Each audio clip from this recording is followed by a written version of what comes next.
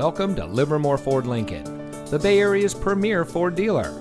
And here's a look at another one of our quality pre owned vehicles from our large selection. And comes equipped with split fold down rear seat, leather wrapped steering wheel, alloy wheels, keyless entry, heated door mirrors, rear view camera, navigation, tire pressure monitoring system, ventilated front seats, steering wheel controls, and has less than 65,000 miles on the odometer.